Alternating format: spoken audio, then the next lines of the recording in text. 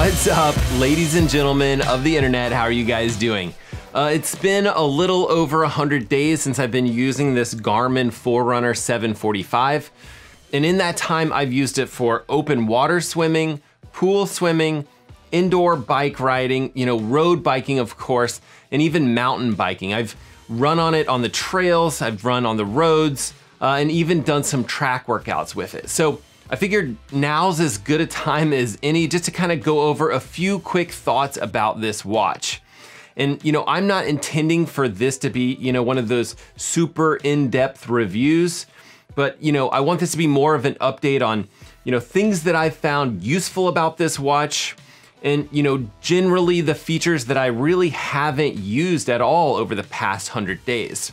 But all of that being said, you know, I wanna be respectful of your time. So if you're pretty sure that you want this watch and you're just kind of checking to see if there's any major issues with this watch, I would say, you know, don't hesitate to purchase this Garmin Forerunner 745. It's absolutely fantastic.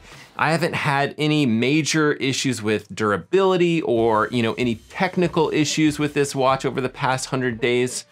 Now, I don't want you to take that to mean that I think it's the best triathlon watch on the market or even maybe the best option for you, uh, but we're gonna dive into all of that in this video. And just a quick reminder that I did pay for this watch with my own money. Garmin isn't sponsoring this video and they don't get to see any of the footage in this video before you guys get to see it here on YouTube. Uh, I actually purchased this watch from the Dialed Cycling Lab and I'll be sure to leave a link to them as well as, you know, any sort of discount code that I can find for this watch in the description of this video.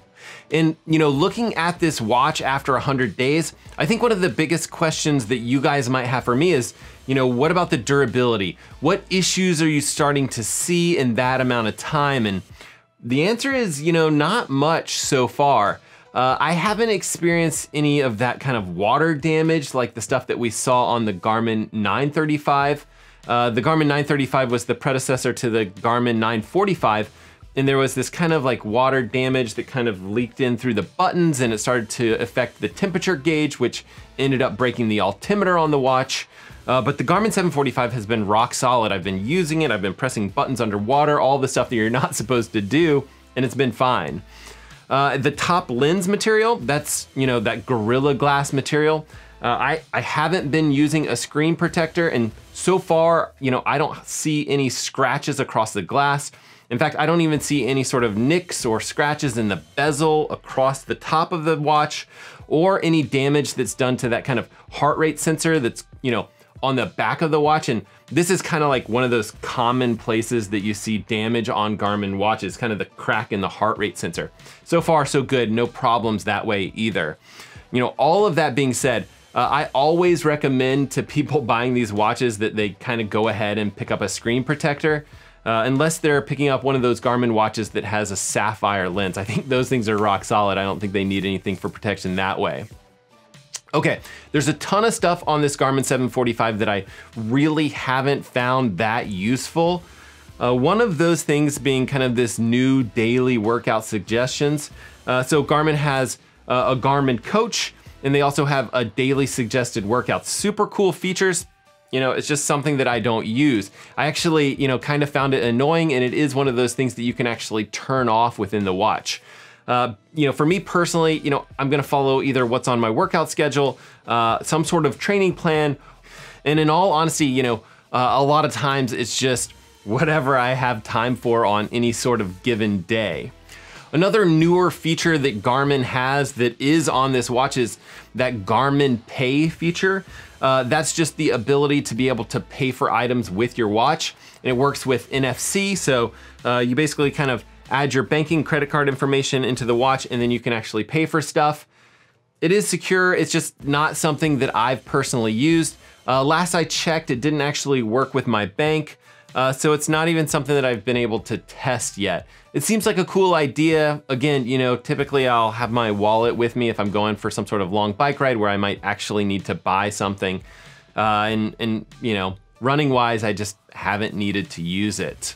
Now, you know, I personally don't typically stress out about, you know, changing watch straps or things like that with these devices, but Uh, I did switch out the strap on my 945 and it was a little bit of a pain, uh, but I don't have really major issues with the standard black strap that comes with the 745. But what I did notice was that there wasn't any sort of clear visible screws or any sort of quick release on the strap. And it turns out that uh, changing the strap on this watch is actually a real pain in the ass. And you know, I am planning on making a separate video talking specifically about how to switch out the strap on this particular watch, and I'll probably try to post that next week. Uh, but you know, that's something small to keep in mind. It's, it's not something that's easy and quick to do. Now, another huge feature is, you know, Garmin Music, you know, that's that onboard music on the device itself, and that's definitely one of the big selling points for this watch, but for me personally, it's just one of those features that I thought that I would use all the time, but it turns out, you know, I really never use it. Uh, I actually think it's because, you know, syncing music and syncing podcasts, it's not super smooth on this device. It's not that hard once you get it set up, but, you know, in all honesty, I, I just find it that much easier to run with my phone that kind of already has a connection to all my music and all my podcasts and it's loaded and ready to go. Now, don't think just because I didn't use the onboard music that this isn't a worthy successor to the Garmin 735, which is the predecessor to this watch. This watch is, you know, so much more powerful, so many more features, and it's significantly smaller. This watch is only 43 millimeters in diameter.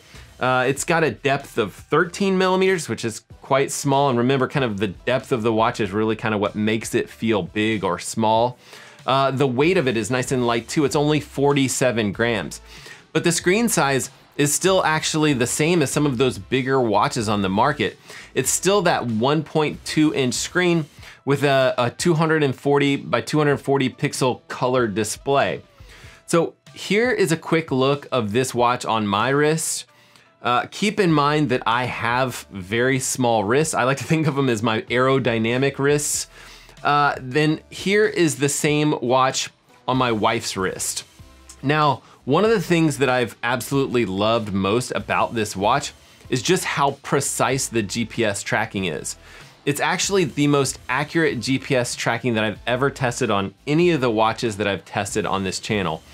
And you know, with this watch in particular, they've actually included something called track mode, which makes tracking distance, you know, even more accurate when you're doing some sort of track workout or track session. Uh, and you know, it does need to kind of register the track. So you do have to do a couple of laps. And then after that point, it'll know the track and it'll kind of store it in memory. Now, I really like this track mode for some reason. I know that we know the distance when we're on the track, but it's just something that I would definitely use every single time that I go to the track. I like to have accurate distances when I'm out there and I like to have accurate totals when I'm done.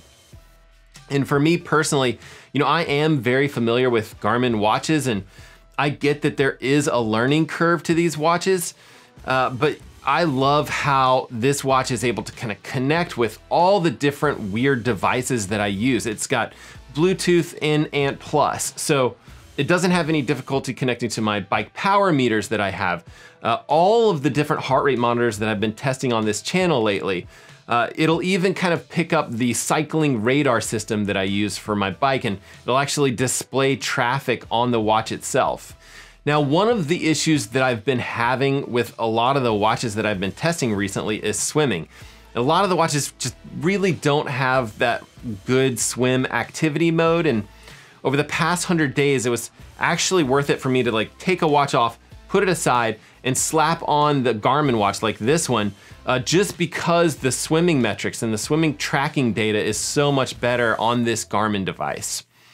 And you know, when you're finished with the workout, you know, this watch is fantastic because it'll just connect to my home Wi-Fi when I get home and I don't have to think about uploading it or downloading it to my phone and then uploading it to this location or that location. All I have to do is set it up to where it, you know, automatically goes up to Garmin Connect and then onto Strava. And the only thing that I really need to remember is just update my Strava title, which you guys, if you guys watch my Strava account, you'll probably see that I sometimes forget to do that even. Uh, but with this watch, there's probably a thousand other features that it does extremely well, which kind of brings me to this weird point. We all think that we don't need all of these features, which is absolutely true. Uh, we might need five or 10 things that we find really, really useful, kind of critical stuff for us. For me, you know, maybe that's swimming metrics. For you, that might be something completely different. Maybe it's track mode, or maybe it's that daily suggested workouts. And, you know, for each of us, those five to 10 things are really important. But Garmin has those thousand different features in a watch. And I think that that tends to make it work well for a lot of different people. And while the Forerunner 745 does have, you know, all of these different features, the Garmin 945, uh, this watch here actually has, you know, the same amount of features plus a few extra, you know, stuff like golf in it. The watch itself actually has extra storage space and it has mapping, which is fairly important. Uh, one of the most significant things is the larger battery life, which I really enjoy on any watch that I've tested. Really, you know, let's keep this going. Garmin, you know, push that envelope on the battery life. I really wanna see what you guys can do. But keep in mind that the suggested retail price on the Garmin 945 is $100 more than the Garmin 745. Uh, it's uh, a suggested retail price of 600 versus 500. So they are expensive watches. And one thing to keep in mind is, you know, you will see sales prices on the 945, whereas the 745 is actually hard to find at this point. Uh, and so if you do find something on sale, I actually saw sale prices on the 945 getting really close to the price of the 745, which was absolutely ridiculous around the holiday season. Uh, but definitely keep an eye out for sales and deals and things like that on both of these watches. So I would say, you know, two reasons to potentially hesitate on the Garmin 745 would be that the 945 is a slightly better watch for a very kind of similar price, kind of depending on those sales. Uh, and then secondly, you know, Garmin will eventually release the 955. It's kind of coming around to that time frame.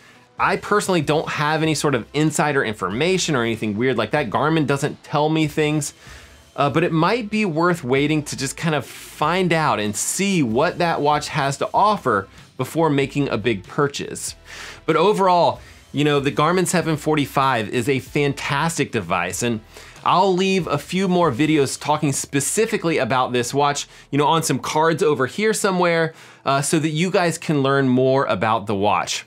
And as always, you know, whether you're shopping for watches or you could care less about it, uh, get out there, swim, bike, run, rinse, and then repeat it all over again. And we will see you guys on the next one.